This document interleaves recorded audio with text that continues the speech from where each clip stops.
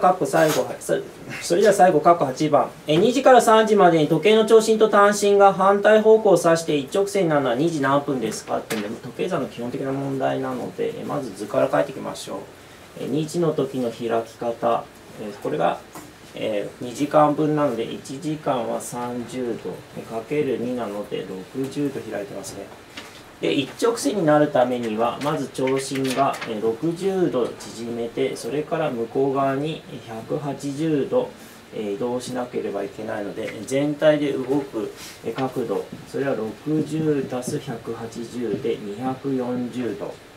1分間あたりに長針と短針が縮める角度は6-0.5なので計算すると240割る2分の11そうすると11分の480これを対分数に直すと43と11分の7となりますしたがって求める時刻は2時